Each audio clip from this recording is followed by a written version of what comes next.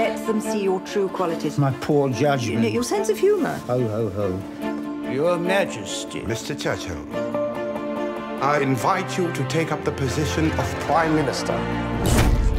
He's an actor in love with the sound of his own voice. You to reply to the Lord Privy Seal. I am sealed in the privy. I can only deal with one shit at a time. A bottle of champagne for lunch, another one at dinner. Here's to not buggering it up. Not buggering it up.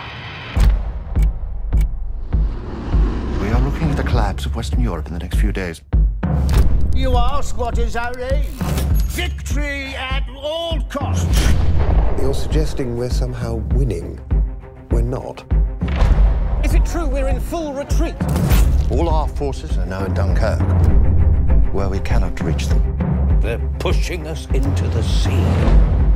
There is the question of peace talks between ourselves and Germany. Europe is still. Europe is lost. The child. Weight of the world on your shoulders. How many men will survive? Go to the people. Tell them the truth. We must rouse to an heroic resistance. There's nothing patriotic in fighting to the end. Now is the time to negotiate. When will the lesson be learned? You cannot reason with a tiger when your head is in its mouth. I take full responsibility. Really? Really? Yes, sir.